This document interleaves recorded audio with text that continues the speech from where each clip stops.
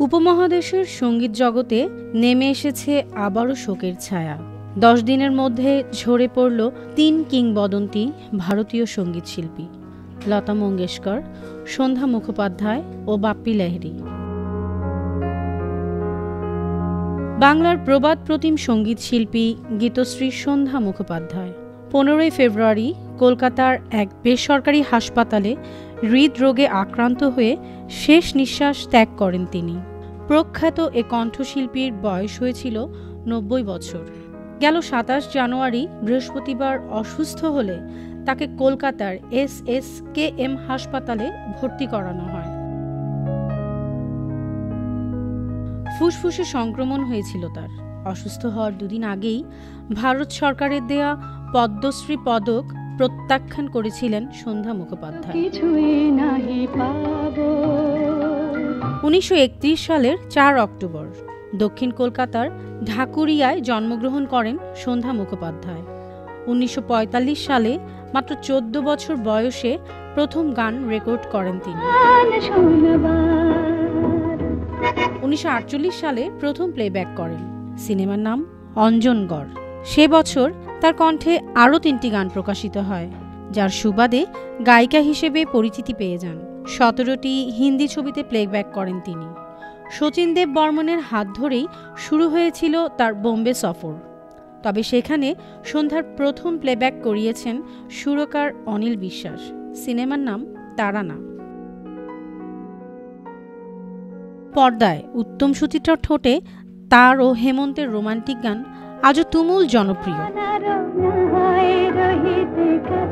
উনিশশো একাত্তর সালে জয় জয়ন্তী ও নিশুপদ্ম ছবিতে গান গেয়ে জাতীয় পুরস্কার পেয়েছেন তিনি। উনিশশো নিরানব্বই সালে আজীবন সম্মাননা হিসেবে ভারত নির্মাণ পুরস্কার পান তিনি। বঙ্গবিভূষণ সম্মান পান দু হাজার এগারো সালে। তার মৃত্যুতে শোকাহত গোটা শিল্পী মহল।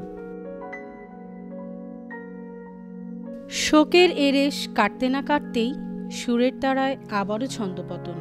সন্ধ্যা মুখোপাধ্যায়ের প্রায় আট ঘণ্টা পর চলে গেলেন বাপ্পি লাহিড়ী। সেই আশির দশক থেকে বলিউডের ডিস্কো মিউজিক মানেই বাপ্পি লাহিড়ী।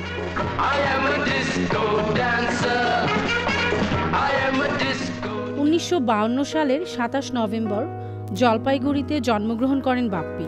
কিশোর কুমার ছিলেন বাপ্পির সম্পর্কে মামা। বাবা অপরেশ লাহিড়ী ও মা বাঁশুরি লাহিড়ী দুজনেই সংগীত জগতের মানুষ। একমাত্র সন্তান বাপ্পি ছোটবেলা থেকেই মা বাবার কাছেই গানের তালিম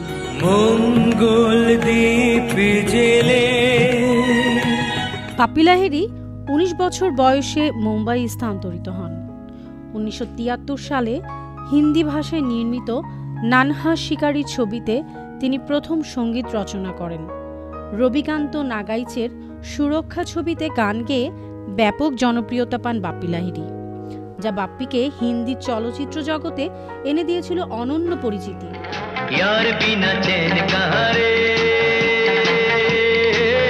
সেই গুণী সংগীত শিল্পী অবস্ট্রাকটিভ স্লিপ অ্যাপনিয়াতে আক্রান্ত হয়ে ঊনসত্তর বছর বয়সে মুম্বাইয়ের ব্রিজ ক্যান্ডি হাসপাতালে বুধবার শেষ নিঃশ্বাস ত্যাগ করেন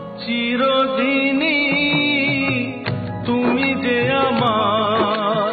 ভারতের ইতিহাসে সর্বকালের সবচেয়ে সফল গায়িকা লতা মঙ্গেশকর।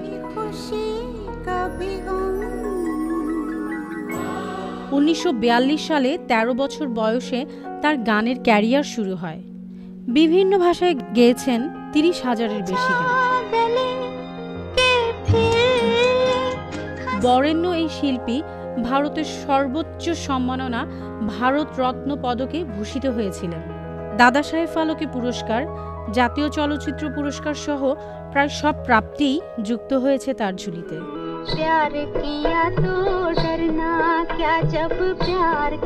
ভারতীয় উপমহাদেশের সংগীত জগতে সবচেয়ে বড় বিয়োগান্ত ঘটনা ঘটে গেল ছয় ফেব্রুয়ারি।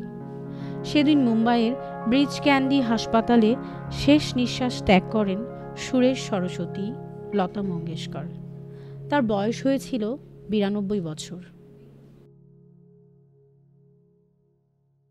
অনন্যা চৈতি মিস্টেক্স